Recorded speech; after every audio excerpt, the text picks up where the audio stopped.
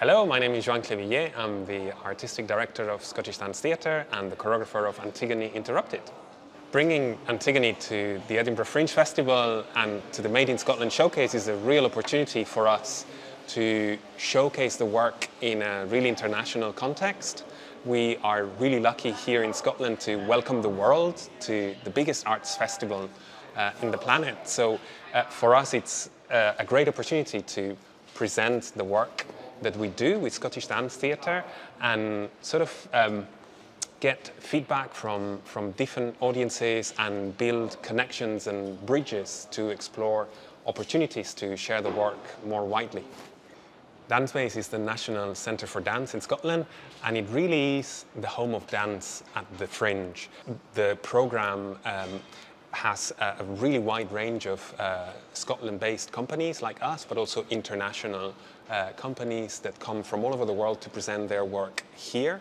And so to be able to present the work in this context is really enriching for us because we're able to meet other artists, uh, see their work and, and exchange um, exchange experiences and, and knowledge and conversations and that doesn't happen uh, in, in the usual context. Uh, so it's really precious for us to, to be here in the hub of dance at the Fringe, which is DanceBase. The thing about Antigone Interrupted is that no matter what's happening in the world, it always has a different resonance. So of course, when we premiered the work in 2020, um, somehow for me it was really present the, the whole uh, political situation in America, uh, Trump, um, and, and sort of that resonated a lot with some of the themes in the piece and the leadership that we see in the piece. Uh, obviously, right now, the war in Ukraine um, is in our minds, and, and you can really see, I think that's why it's a classic, that's why you know, we're still doing this amazing piece that is more than 2,000 years old. It's, um, it, it, just speaks to human condition and therefore to um, anything that is happening in the world right now. So it's really interesting to see the work sort of speak to all of those different contexts. Having 10 performances at the Fringe is, is a real luxury and, and a rare luxury because you're able to um, get a rhythm, uh, get into a performance rhythm where, where the work really starts speaking to you because you get much more comfortable in the space. You don't need to worry about you know, restaging it every time. You're in the same space. Um, and even if the audience uh, is different every night, you, you sort of get a, a real sense of continuity.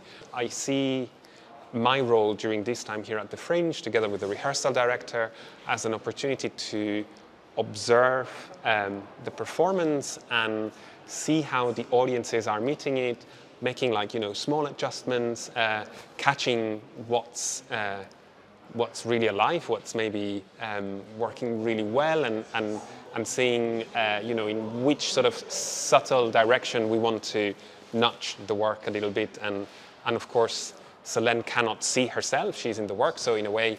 Um, myself and the rehearsal director become her eyes and her ears and a mirror in which she, she can see herself and adjust.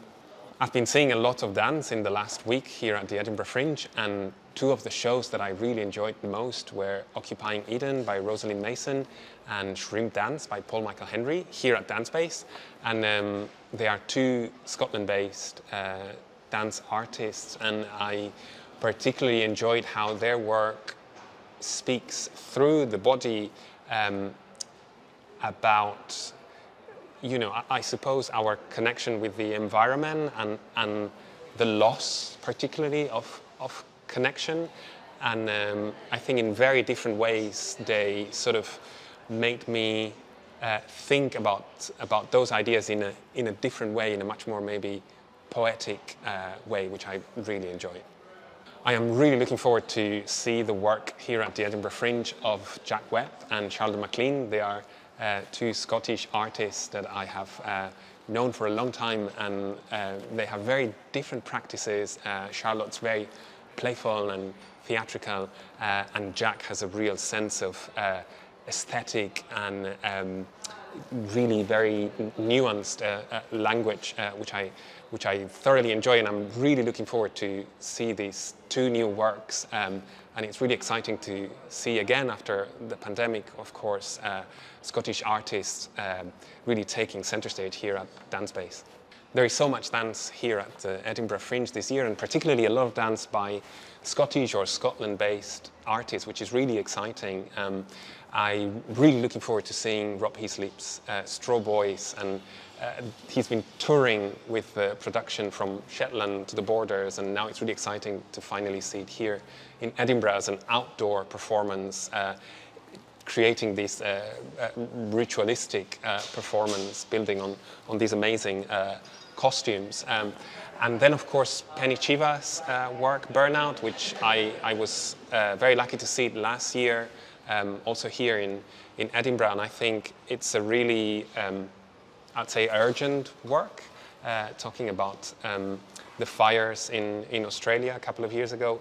And I think the way she's sort of uh, bringing that urgency into the work uh, combining elements from dance and theatre is really um, yeah, moving and, and thought-provoking. So I, I'm really excited that she's uh, able to share that work uh, with audiences this year here at the Fringe.